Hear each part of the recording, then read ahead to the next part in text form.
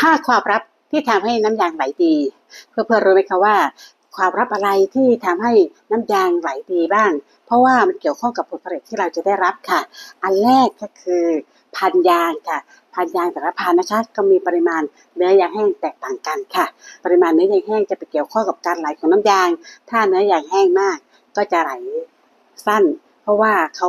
ข้นมากเขาก็จะใช้เวลาในการไหลสั้นก็ทำให้ผลผลิตน้อย แต่ถ้าเป็นปริมาณนื้อยางแห้งน้อย ก็คือไม่ได้น้อยมากนะครับ ก็คือจากระดับลดระดับลงมาหน่อยหนึ่งเขาก็จะสามารถที่จะไหลนานขึ้นค่ะ ก็จะทำให้ผลผลิตเพิ่มขึ้น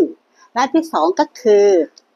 อายุยางค่ะ อายุยางก็จะแตกต่างกันนะคะ ยางที่อายุ 20 ปีขึ้นไป ปริมาณเนื้อยางแห้งก็จะมาก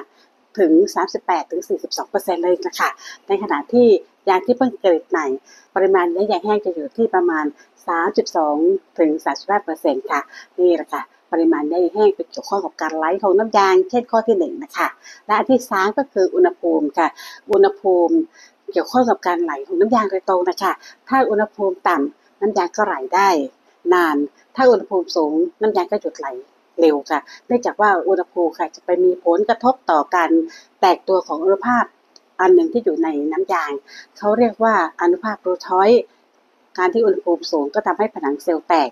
เมื่อผนังเซลล์แตกก็จะปล่อยสารที่อยู่ข้างในที่มีประจุบวกออกมา เมื่อประจุบวกที่ออกมาจากอนุภาครูทอยด์มาเจอกับ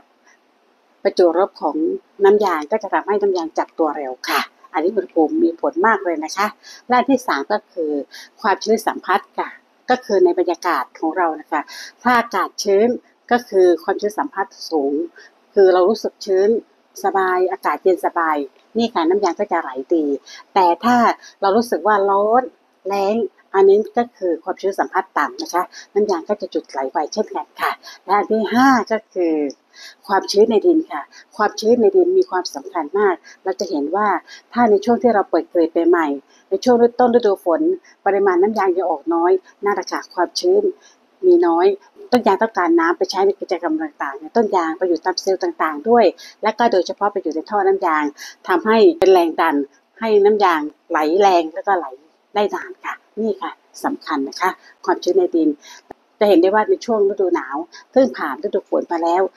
ปริมาณน้ำยางก็จะมีมากกว่าค่ะ เพราะว่าความชื้นในดินมีเยอะนะคะ ถ้าเห็นว่าข้อมูลนี้ดีอย่าลืมกดไลค์ กดแชร์ กดติดตาม กดไว้ในรายการโปรดเพื่อได้กลับมาดูได้ง่าย ๆ ค่ะ และถ้าใครอยากรู้เรื่องรู้จริง สามารถไปลงเรียนรู้กับครูพิศมัยได้ค่ะครูพิศมัยมีคอร์สเทคนิคการเพิ่มประสิทธิภาพการกรีดยาง ให้ผลผลิตเพิ่มรายได้เพิ่มค่ะ เป็นคอร์สที่ครูพิศมัยตั้งใจมากค่ะอยากจะนำทั้งความรู้และประสบการณ์ที่ครูพิสมัยมีมาทั้งหมดมาช่วยเพื่อนๆชาวสวนยาง ให้ก้าวกระโดด จับเงินล้านได้ไวๆค่ะ ถ้าใครสนใจเข้าไปที่หน้าโปรไฟล์ไปกดลิงก์หรือว่ากดที่ข้อความ